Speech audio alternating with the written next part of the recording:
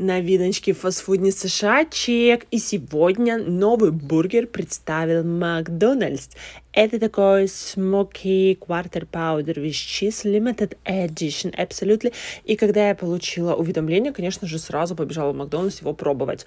Он дороже остальных бургеров, и мил вместе с картошечкой и напитком стоит почти 13 долларов.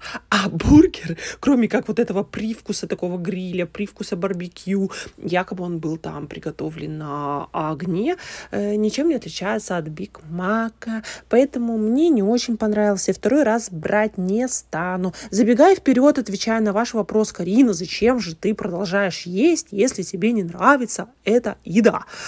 ну, смотрите, я прихожу очень голодная, и понимаю, что я не пойду сейчас во второе заведение опять тратить деньги. Поэтому, конечно, я понадкусываю, но доедать не стану и вам не советую.